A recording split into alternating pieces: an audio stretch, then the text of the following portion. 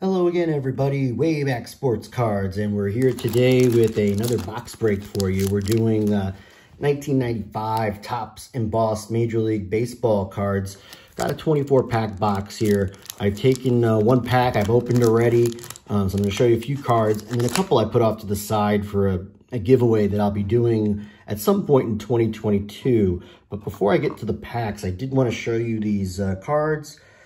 Um, here's a Barry Larkin base card you can see as I uh, try to move it a little bit, the embossed cards, you can see they're raised a little bit as the light hits it. So there you go. You can see a little bit of the um, 3D-esque embossment of the cards on the back. The previous year's stats, some personal stats, a color photo, and some did you know about the players. Um, so that's the base card. And then each pack has a gold card. And this is the Rickey Henderson that I pulled out. And uh, you can see the gold um, embossment on that card. And then on the back, um, you know, just the same numbering and the same kind of um, information on the back of the card right there. And actually the back is embossed as well. You can see that right there. So I'm going to get into these. Before I do, I'm going to share a little bit of information on the screen about the product. Um, as I do, I'm going to tell you a few things about it. There's um, 140 cards in the set. There are no inserts, so this is kind of junk wax-ish. The only insert is the gold card, which is really more of a parallel. And this is 1995, so this is when Topps had their base Topps product, Topps Stadium Club, Topps Finest, um, and this being, I, I, guess, their fourth product, if I'm, unless I'm missing something. So this was kind of their way to kind of branch out a little bit. So um, here we go. We've got, I got the pack in my hand right here, 1995 Topps Embossed Major League Baseball. And I'm going to get right to it. I got this box for uh, $30 at a local hobby shop in their uh, junk wax pile, so to speak. So, um, again, six cards per pack, one golden idol is what they call. So there's the uh, Eddie Murray, and you can see Rookie of the Year 1977. So this is um, the Eddie Murray card. And then we're going to go through, here we go, and a little bit of flipping that needs to be done here. But 140 players, so the star selection should be pretty good. You got Pedro Martinez right there. Andres Galarraga. So right off the bat, three really good cards. Your gold card is uh, Ray Lankford. There you go. There's the Ray Lankford, Chuck Nagy, and uh, Bip Roberts. So there you go. That's the first pack down. You can see right off the bat, even the uh, non-star players are still Charles Nagy, Bip Roberts, semi-stars of the day. So they're still pretty good players. Um, I don't think we're going to find too many um, we'll find some commons. There we go. Gary Sheffield right out of the pack, but you can see this one kind of got a little damaged already. A little bit of bricking in this product as well, I guess. So I'm having a little bit of problem tearing these apart. Um, David Justice showing Rookie of the Year, part of the base set. Mike Stanley with the Yankees, who was an all-star, I believe, in 95. Um, here we go. Bobby Bonilla, the Mets, uh, fans' favorite player these days. And I say that tongue-in-cheek. Um, we've got the gold card of John Valentin, which looks, honestly, um, deformed. Um, not the best embossing there, but um, there you have it. And the Tom Pagnozzi card.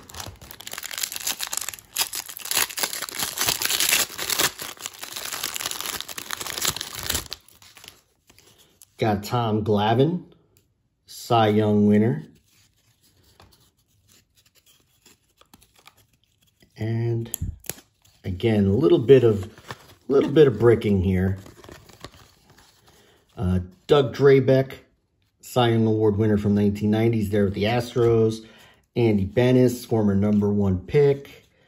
Uh, Luis Gonzalez there with the Astros. And the gold card is of Raul Mondesi, former Rookie of the Year with the Dodgers.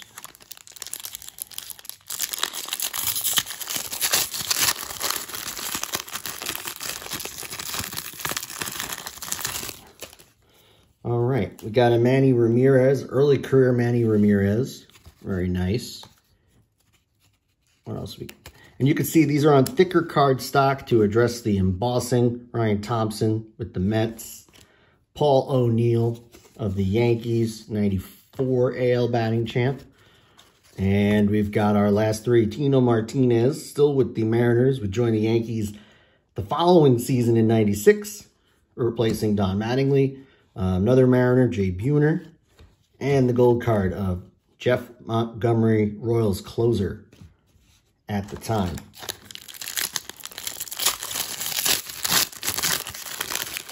So, you know, for the embossment on the cards, it's really kind of a no-frills product. You're not, there's no chase cards really other than the, um, the parallel, which really isn't a chase card anyway. Chuck Knoblauch, uh, Dean Palmer, Dante Bichette. Our gold card is of Sweet Lou Whitaker. And our last card there of uh, Darren Dutch Daulton.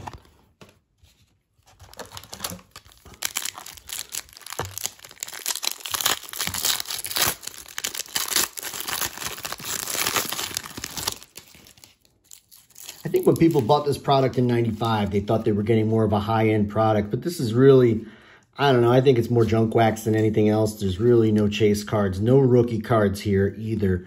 So there's not a whole lot to go after. Uh, Greg Maddux, there we go. Orlando Merced of the Pirates. And our last three cards, Ken Ryan, which is about as uh, common as you get. Chuck Finley and the gold card of the great Fred McGriff. And you can see a little bit of the bricking has damaged the card on the surface. So we'll hold on to it. But um, yeah, this the fact that this product is probably stored with other boxes on top of it and it's kind of caused the, the, glossiness of the cards to stick together. We've seen this a lot. If you've watched our other videos, a lot of mid-90s product is victim to that. Terry Steinbach. We've got a Craig Biggio, Hall of Famer, squaring a bunt, maybe pulling the bat back. Jimmy Key, Yankees ace back in that 95 era. We've got the Moose, Mike Mussina, Orioles ace. We've got Big Daddy Cecil Fielder. And our gold card of William Van Landingham. And it looks off-centered quite a bit too, which is interesting. You would think by 95 they worked out the off-centeredness, but it's that one's really poorly off-centered which I think kind of lends itself to what I'm trying to say here, which is this is a wax, this is junk wax in disguise. I think people bought this thinking it was a premium product, but really I, I don't think it's much more than um, junk wax in a shiny pack. So let me know what you think. Uh, Alex Fernandez, Jimmy Key is our gold card. Uh, and then we've got Roberto Alomar and uh, Ryan Klesko there with the Braves. So there we go.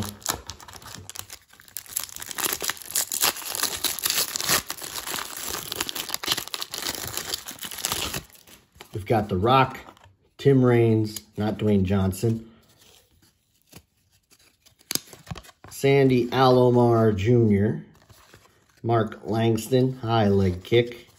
And our last two cards, or three cards, Lance Johnson, Shawon Dunston, and the gold card is of Rafael Palmeiro. Not a not a bad one there. That's we got him actually in our first pack. If you watched our pack break on um, on Instagram, we did find a base Palmeiro in that pack. So um, Bret Saberhagen with the Mets.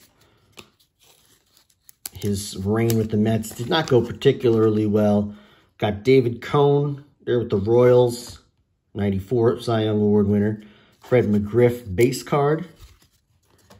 We've got Bobby Jones, Travis Fryman, and our gold card is Pedro Martinez, Hall of Famer. So, uh, pretty good there. And again, I got this box, 24 packs for 30 bucks. So, I guess got these for a little bit more than a dollar a pack. I don't think you really want to pay a lot more than that here. Um, I Pretty much the best card you're going to be able to get out of these is going to be a Griffey or a Griffey Gold card. We got Eddie Murray here. Chuck Nagy, Bip Roberts. So you see, we're already getting duplicates. Um, Bobby Jones, Andres Galarraga again, and uh, Tim Wallach. And these cards don't stack particularly well. I'm just holding this fairly level. And you can see the embossment really kind of doesn't lend itself to stacking of these cards. So, um,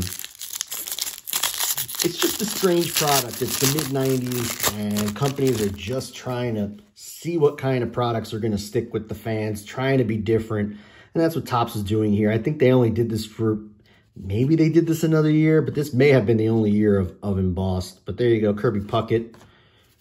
A good one to pull right there. The Rocket, Roger Clemens. You see his MVP and his three Cy Youngs up until that point. Uh, Ray Lankford. And then the last three, Javy Lopez, Brian Anderson, and the gold card of the chef, Gary Sheffield. And again, you see the bricking just kind of damaging that card right there. The gold is kind of coming off. It's the last card in the stack. So just, I wish the gold was kind of on the top of the top card, but um, it doesn't seem like we have that kind of luck here in how they package these. So we got Walt Weiss, another Greg Maddux.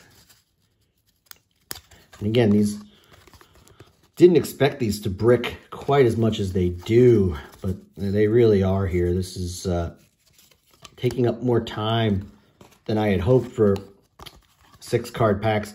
Barry Larkin Gold. So there you go. We've got the base and the gold. Barry Larkin. Put that right there. Chuck Finley and uh, Tino Martinez are the last two cards.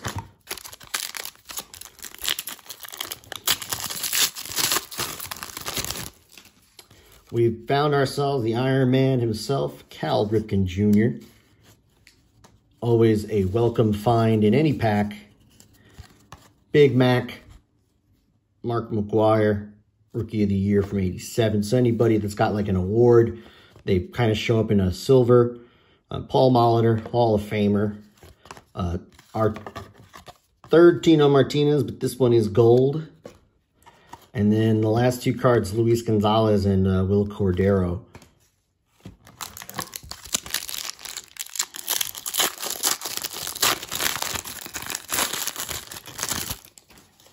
We got ourselves a Chuck Knoblauch yet again.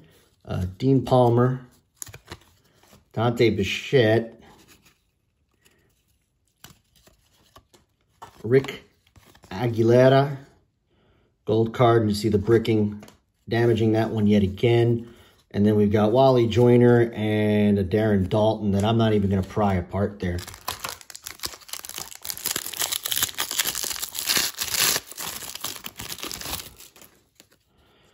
Got a Robin Ventura. Got the Man of Steel himself, Rickey Henderson. That's the base version. So there you have the base and the gold of Rickey Henderson. So we've got companion there to go with the Barry Larkin, Brady Anderson, Great Oriole. We've got Sandy Alomar, gold card. And then uh, Tommy Greene and Royce Clayton round out the packs. Got about five more to go here. Ruben Sierra with that high, high leg kick. Bob Hamelin, the Hammer, Rookie of the Year in 1994. Fortunately, didn't last a whole lot longer in the majors. Um, and then our last few cards here, Tom Candiotti, the knuckleballer, Carlos Baerga, Indian fans Loved Baerga back in the day. Chuck Finley and another Barry Larkin.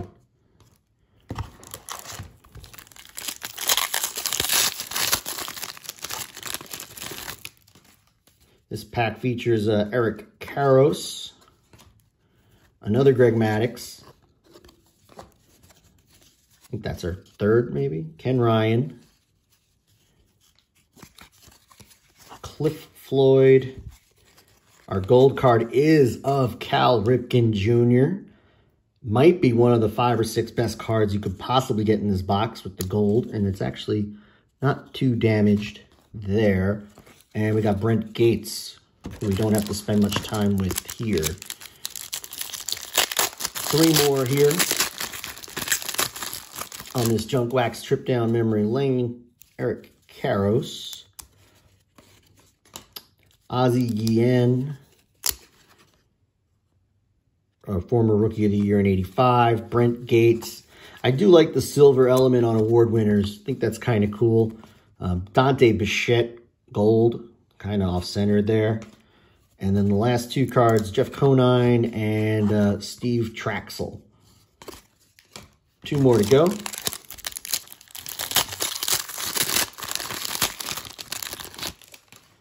Mike Piazza, and actually a really cool picture. Got him in full crouch. I think that's a pretty cool looking card. Also uh, memorializing his Rookie of the Year award. We've got Jose Valentin, Dave Hollins, Steve Trachsel again, who is our gold card. And then we got Cliff Floyd and uh, Will the Thrill Clark. Last pack in the box.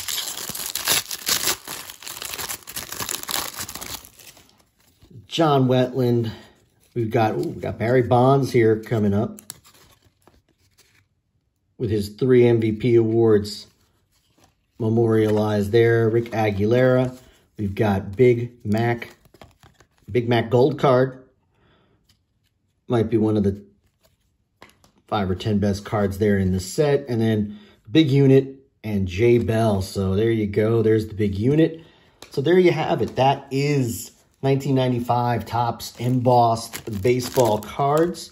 Overall, I'd say for 30 bucks, I wouldn't pay a whole lot more than that. There's not a ton here, 140 cards. Um, the gold cards look good. I mean, we've got some good ones. McGwire, we found a good Cal Ripken. Um, we got the Henderson, Larkin. A lot of good players here, but um, I don't know. I don't know that there's a ton of bang for your buck. If you can get this for 20 bucks, you're probably doing really well, but 30 probably on the higher end of what I would be willing to pay. But let me know if you have any of these or, or uh, what you think about the product. We'd love to hear from you. And with that, that's the end of this video. We thank you for watching and have a great day, everyone. So long.